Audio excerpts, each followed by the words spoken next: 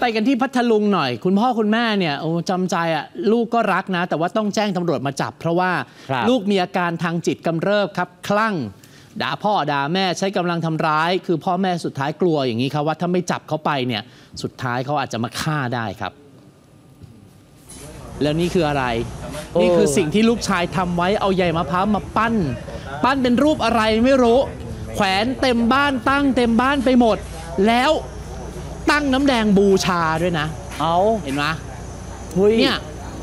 อะพี่หนุ่มมองให้ออกว่าเป็นเทวรูปอะไรสักอย่างหนึ่งไหมเอาเป็นเป็นทวมีขงเทวมีรูปแขนมีถือของสี่กรอ่าแต่ย่างเงี้ยคืออะไรไม่รู้นะสี่กเนี่ยเป็นเทพใยมะพร้าวคือเขาปั้นแบบเนี้ยหลายรูปด้วยกันคุณผู้ชม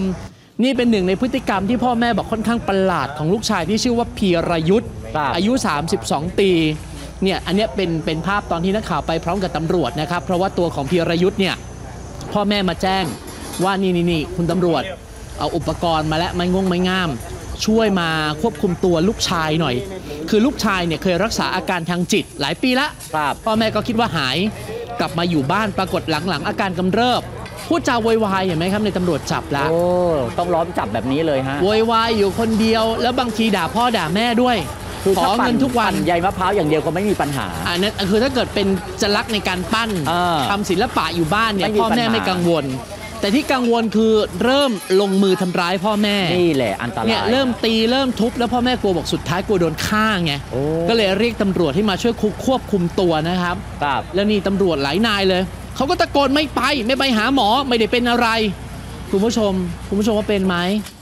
ดูก็ไม่ค่อยปกตินะครับเออสุดท้ายแล้วเนี่ยด้วยความที่เขาจ้องตาเขม็งเลยอะตาขวางเลยอะครับตำรวจก็ต้องจับตัวอย่างทุลักทุเลส่งโรงพยาบาลครับ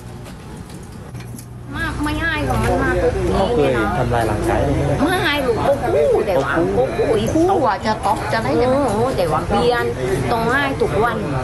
แต่เราก็อายุวันละเท่าไหร่ครับวันหนึ่งก็ไม่หมากวันรอยเรือหรอกตึ้งเปล่าอันเนี้ยเปิดแม่เจอกับข้าวไม่ใช่ตึ้งรอยนี่หนูเรื่องเปล่าอันเนี้ยป้าก็ไม่มีรายได้เนาะ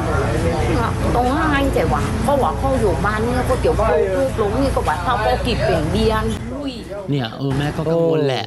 เนี่ยวันนี้ขู่แต่วันหน้าถ้าไม่ได้ขู่ล่ะ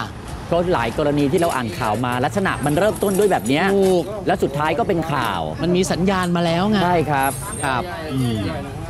ละครดีวาไรตี้เด็ด ดูฟรีผ่านแอปวันดี หรือดูผ่านเว็บไซต์วันดี .net โหลดได้แล้ววันนี้ที่ App Store หรือ Play Store